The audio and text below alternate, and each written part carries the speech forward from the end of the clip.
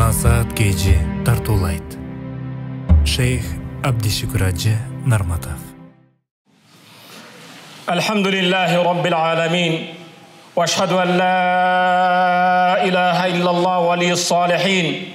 واشهد ان سيدنا ونبينا وعظيمنا وحبيبنا محمدا رسول الله ادى الامانه وبلغ الرساله ونصح الامه Аламды жаратқан Аллах Таала мақтаулар, пайғамбарға дуа саламдардан кейін Урматты мұсылман бір туғаным Аллах Таала кереметті Құранда иманды бенделеріне қайырлы бұндай дейді. Я айюхаллазина аману тақуллаха ва қулу қаулан садида юслих лакум аъмалакум ва яғфир лакум зунубакум ва ман yuti'i Аллаха ва расулаху фақад фаза фаузан азима. О Алланың барлығына белгіне иман келтірген бенделер, өзіңер ишарып иман келтірген алладан қорқып дайым шындық түс сөзді сөйлегілі алладан қорқсаңар шындықты сөйлесеңер аллах күнөөңөрдү кечирет ишиңерди оңдойт ким аллаға жана пайғамбарға баш ийсе ал эң жогорку жеңишке жеткен болот урматтуу мусулман бир тууганым аманат жөнүндө сөз пайғамбарлардың сыфаты аманатчыл пайғамбарыбыз саллаллаху алейхи уассалам пайғамбар боло элек кезде әл әмин ассадиқул чынчыл аманатчыл деген сыпаты бар еді саға чыныгы бааны душманың береді пайғамбарды дин душмандарды аманатчыл дейтіле чынчыл дейтіле пайғамбардың үмметі бүгін біз ошол сүйікті пайғамбардың пайғамбар болғанға чейинки болған сыпатыға мұқтажбыз бирок ислам диніндегі ең негізгі иман менен ажырабаган бір сыпаттардан бірөөсү аманат екен пайғамбар алейхисаламдан имам муслим шығарған сахих хадисінде ани наби саллаллаху алейхи қал пайғамбар мындай дейді қайсы бір бендені аллах бір қоомға бір жамаатқа жетекші қылса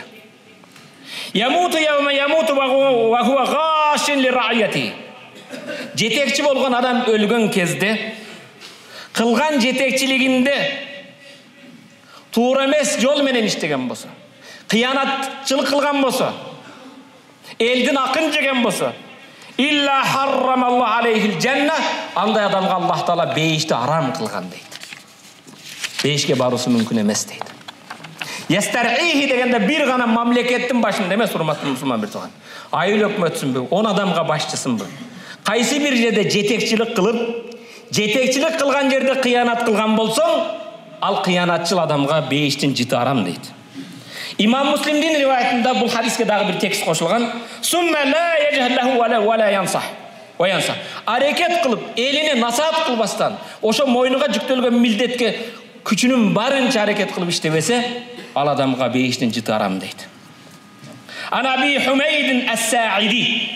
хумейдтің атасы саид урусудан قال استعمل الرسول صلى الله عليه وسلم رجلا من الأسد أسدي әс деген қауымдан ұрудан пайғамбар біреуді іштетті. Салықшылар көңіл бұрғыла жана ошол қызматта иштегендер ошол тармақта иштегендер Пайғамбар алейхисалам Әс деген ұрудан бір күшені зекет садака жыйноого иштетти бүгүнкү күндөгүдөй салык жыйнашка ибн әлбәт әлбәттәте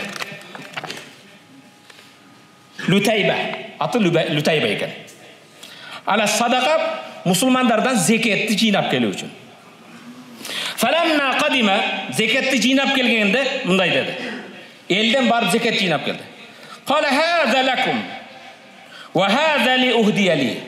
мо сіздерге бұл бюджеттікі деді байтылмал мұсылмандардың ақы деді мо маға белек болған деді жинап келген кезде ал кезде қырық қой болса бір қой алып келеді отыз үй болса бір торпақ алып келеді қырық үй болса екі жашар торпақ алып келеді бес төбесі бар адам бір қой береді зекеттерді жинап келіп осы мұсылмандардың бюджетінікі мынау маған белектеп біреу қойды үйді өзі қалды қала фақама расул саллаллаху алейхи алә минбар пайғамбар минбарға шықты елге қайырылу үшін фахамид аллаху асна алейх аллах хамды айтты айтты аллах тағалаға саналар айтты وقال кейін айтты ما بال عامل أبعثه فيقول هذا لك وهذا أهدي لي бұл қандай қоғам бұл қандай адамдар бар аларды мен садақа жинағанға зекет жинағанға жеткізсем жөнөтсөм барып келет дагы могу силердики могу силердики бул байтыл малдыгы могу мага белек болду дейт أفلا хатта янзура ухдия илайхамла ошол адам ата энесинин үйүнө барып отуруп көрсүнчү дейт ошол мага могу белегим деген адам атасынын энесинин үйүндө отурсунчу башкалар белек бермек беле дейт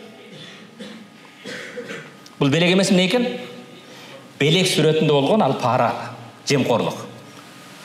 жыйнап келди да мына бюджеттики мына бюджеттики могу мага белек деди сен кайсы кызматыңа белек сен ата енеңдің үйінде отырсаң солар саған белек бермек пе сен бетте парақорлық қылып жатасың пайғамбар саллаллаху кейін айтты мұхаммадтың жалы жаны қолында құдіретінде болған аллаға қасам ішемін сілердің кіміңер салық жинаған кезде зекет жинаған кезде садақа пітір жинаған кезде meniki деп алып алса илля жабихи яумал қияма яхмилу ала унуқи қияматта ошо төө алганбы уй алганбы жылқы алганбы мойнуна көтөрүп келет ау бақара же уйбу ау шатин же ядей пайғамбар айтты қияматта алған ошол нерсеңди ал койбу уйбу мойнуңа жүктөлүп келет кейін пайғамбар қолын көтерді баллағт аллахым күбө бол мен бұларға жеткіздім аллахым күбө бол жеткіздім арам екенін жемқорлықты арамдығын жеткіздім деп пайғамбар осындай қолын көтергенде сахабалар пайғамбардың қолтығының аппағын көрдік дейді аллахума фашхад аллахым куә бол мен бұларға айттым деді менің мойнымда қалған жоқ деді құрметті мұсылман бір туған белеккеді досың бар қатташып жүресің той башқада ошоны алып барып жүресің бір қой алып барады тойында жақсы ошо сенің досың начальник болып қалған кезде қойдың орнына тай алып барсаң қойдан жоғарысы барсаң пара болады мұрдағы адаттағыдай қарым қатынасың болса басқа. Билікте жүрген кезінде о менің достарым көп деп мақтанасың шашымдай досым көп дейсің. Биліктен түшкенде таза екеніңді білесің. Ешкім жоқ жаныңда құрметті мұсылман бір туған өзіңді алып барып жатасың біреу билікте отырып қалған кезде белек көтеріп барып белекте барып белек емес ал. Белек суретінде болған ал парақордық жемқорлық ал ана алған адам машина алып бардың ба? Күлішіп бара жатыр қияматта ошо машинесін мойнына көтеріп сұрақ жауапқа келеді квартира берсең квартира басып қалады ошо итті ал кезде сен елге жерге кейін дағы бір урматтуу мусулман бір туған екінші бір хадис абдулла ибн бурайда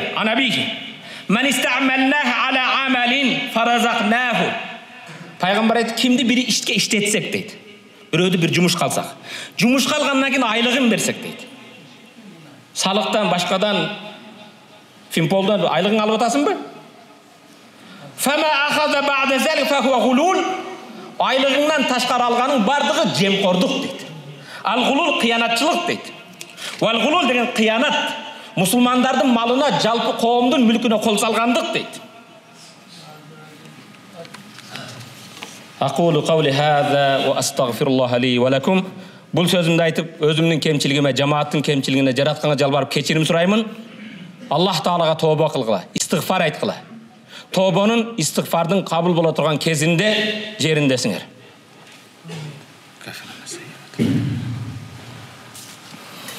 Әлхамдулиллахи Раббил аламин. Вәлә ақибату лил муттақин.